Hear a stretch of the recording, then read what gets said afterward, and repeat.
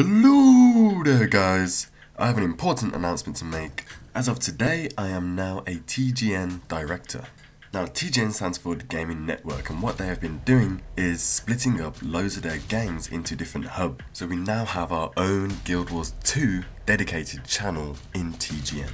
Kai Dream was asked to be the channel manager of TGN Guild Wars 2, so she has been giving out invites to different people, and luckily I was one of them. But don't panic, everything will stay the same, I will still continue my series on my own channel, as will all of the other directors involved. Us as YouTubers and ArenaNet as game developers are all about community and what better way to do it than as well as having our own channels to all come together on one channel and just have the fun there as one community for Guild Wars 2. So with Guild Wars 2 on the horizon, if you love the change or hate the change, give TGN Guild Wars 2 a chance and come over and subscribe and be a part of our family and our community and we can all rock it up in Guild Wars 2 together.